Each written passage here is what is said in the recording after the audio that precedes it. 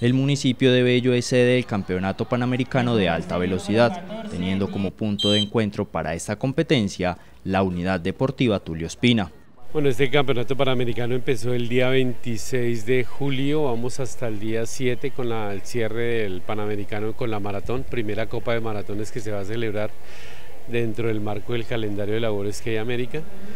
Eh, obviamente a la par es la primera válida nacional puntuable para Selección Colombia, calendario 2024 que se va a desarrollar obviamente en la sede que determine labores que hay en el año entrante.